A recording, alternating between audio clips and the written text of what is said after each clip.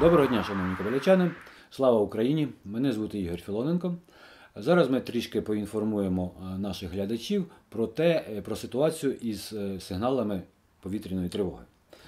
Серед населення доводиться чути та обговорюють те питання, що, ну, наприклад, у біликах лунає сирена повітряної тривоги, а в кобиляках не лунає.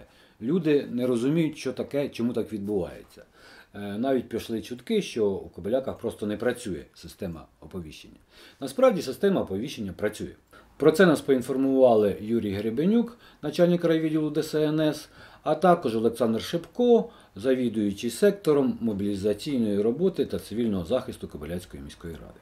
Дивіться, у нас е, на території міста є сім гучномовців, через які транслюється сирена. Е, Чути зараз їхні технічні можливості покращені, е, чути їх по всьому місту і навіть в селі Підгора. Також гучномовці такі встановлені у селах Придніпрянське, Світлогирське, Васильівка, буде встановлено ще в кількох населених пунктах. Але є своя специфіка. В Кобиляках е, ця сирена спрацьовує автоматично.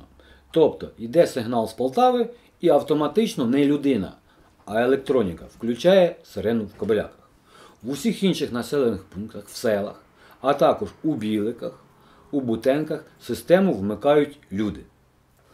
Е, Чому буває різний час е, в повітряної тривоги? Ви повинні розуміти, що коли злітає ракета, її зразу відсліджують за допомогою української ПВО і вже знають її маршрут слідування.